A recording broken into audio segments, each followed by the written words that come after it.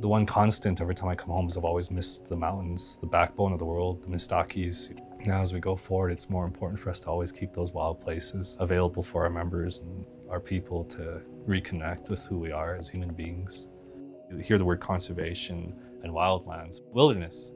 It's like all or nothing. It's either you you own the land, you can extrapolate the resources, or you leave it completely untouched. You don't interact with it, you look but don't take. And those two things are very foreign because Blackfeet, we never did either of those. We always interacted.